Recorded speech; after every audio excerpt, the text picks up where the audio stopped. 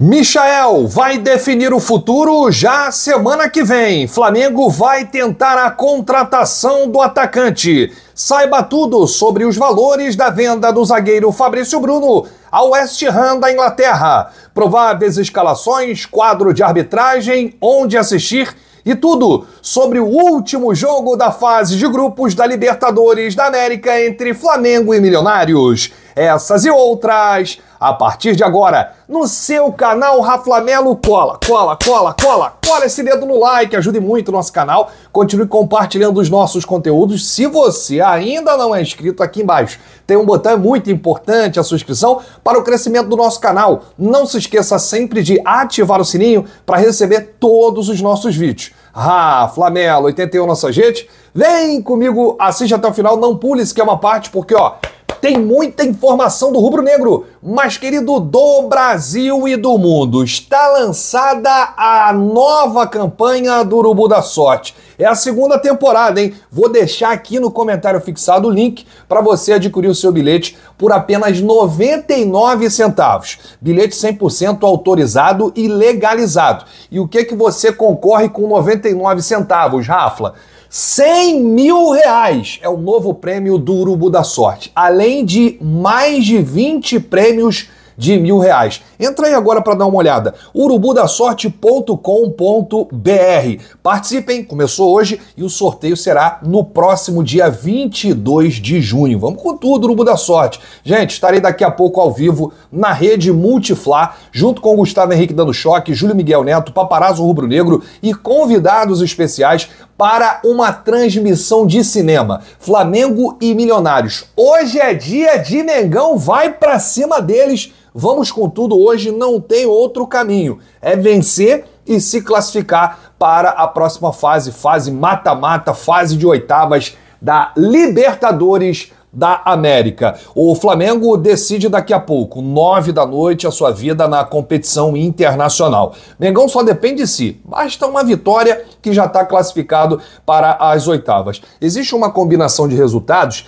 que se o Palestino vencer o Bolívar lá no Morro, aí, amigo, o negócio muda de figura. Porque o Flamengo vencendo Milionários, o Flamengo se classifica como líder do grupo. E isso é muito bom, né? Você classificar em primeiro é bem melhor do que você se classificar em segundo. Mas não vamos pensar nisso agora não, os dois jogos no mesmo horário, nove da noite, Flamengo e Milionários no Maracanã, Bolívar e Palestino na Bolívia. O Mengão é o segundo colocado com sete pontos, joga por uma vitória simples. A classificação pode acontecer também com um empate, desde que o palestino não ganhe o Bolívar em La Paz. Ou seja, se o Bolívar vencer o palestino e o Flamengo empatar com o Milionário, o Flamengo também está classificado. Mas a gente não quer empate, não, hein? A gente quer vitória!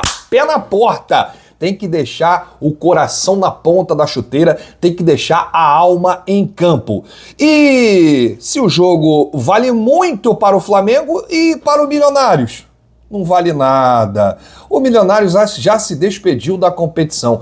O Milionários não consegue nem se classificar para a Sul-Americana, tá fora de tudo, tá lá na última colocação, né?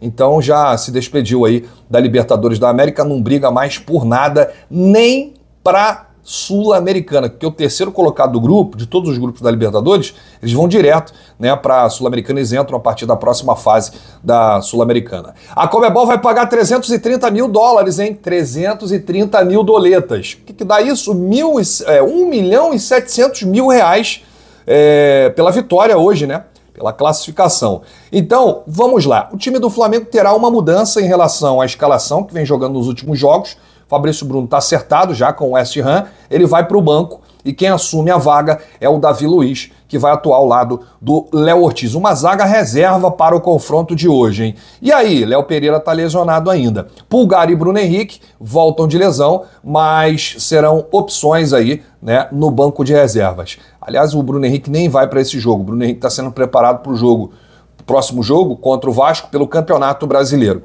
A provável escalação do Mengão com Rossi no gol, Varela, Davi Luiz e Léo Ortiz e Ayrton Lucas na esquerda. Alan, De La Cruz e Arrascaeta, Gerson Cebolinha e Pedro. Provável escalação do Milionários, Muita gente achava que eles iam mandar o time reserva, já que não vale nada o jogo de hoje para eles, mas não, vem com o time titular. Álvaro Monteiro no gol, Alfonso Linás, Vargas e Bangueiro. Pereira, Giraldo Rodrigues e David, David McAllister. É, Ruiz Carvajal. Esse o provável time aí né, do Milionários para enfrentar o Flamengo. Apita o jogo Facundo Telo, da Argentina, Ezequiel Bralovski e Gabriel Xadê, da Argentina, e completa aqui o quarteto o Hector Paleta, também da Argentina. Quarteto argentino para apitar o jogo, hein? O Hector Paleta será o árbitro de vídeo. O confronto entre Flamengo e Milionários pode ser bem importante na história do Clube de Regatas do Flamengo. Caso supere a equipe colombiana nesta terça no Maraca, o Flamengo chegaria à sua centésima vitória na história da competição, hein? 100 vitórias na Libertadores. O Flamengo tem 99. Se vencer hoje o Milionários, o que vai acontecer, a gente acredita muito, chega a 100 vitórias na competição. O Flamengo disputou 176 jogos em toda a história e até o momento conquistou aí 99 vitórias. Então o duelo de hoje é importante para entrar para a história. A maior vítima do Flamengo na história da competição é o Emelec do Equador. Ao todo foram seis vitórias rubro-negras no confronto entre as equipes. Deixa aí nos comentários o seu palpite, o seu placar para o jogo de hoje. Eu já fiz a minha super bet, hein? Flamengo ganhando em ambos os tempos. Flamengo ganhando no primeiro tempo, Flamengo ganhando no segundo tempo e um gol do Pedro. A odd tá mais de 3. Vai lá na Superbet agora as melhores odds e se você fizer o seu cadastro, você ganha até 100% do seu primeiro depósito. Até 500 reais a Superbet está dando aí de bônus de boas-vindas. Então não perde tempo. Superbet, vamos com tudo. Detalhes da venda do zagueiro Fabrício Bruno. O valor da transferência, segundo o jornalista Vene Casagrande, é de 13 milhões e 500 mil euros.